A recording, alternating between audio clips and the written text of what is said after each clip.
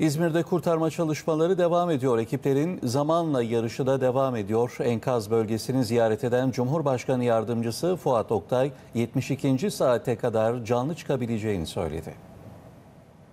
Son derece metanetli hepsi de. Arzumuz güzel haberleri alalım. Sağ kurtarabilelim. Tüm çalışmalarımız buna yönelik. Onun için de son derece titiz çalışıyor ekiplerimiz.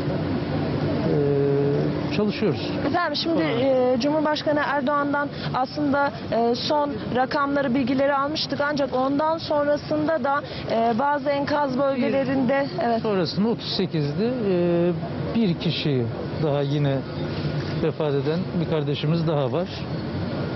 Ee, dolayısıyla 39 olmuş oldu sayı. Yani hatta orada da bir son kurtardığımızda e, çıkardığımız cesette kedisiyle birlikte kurtar şey olan yani Peki, e, şunu da durumda. sormak Allah rahmet istiyorum. eylesin. Yani o da ilginç. Kedisini kucaklayarak kedisi sağ ve şu anda onun bakımı da yapılıyor. Yani canlı olan ne varsa bizim için son derece önemli. Ee, Üzerine gidiyoruz. şu an Emrah Apartmanı'nı incelediniz. Buradaki son durum nedir? Enkaz altında kaç kişi var? Yani şu anda biz net sayıları vermek istemiyoruz. Bizim elimizde bütün çalışmalarımız var. Ee, kaç kişi olabileceğini tahminimiz var.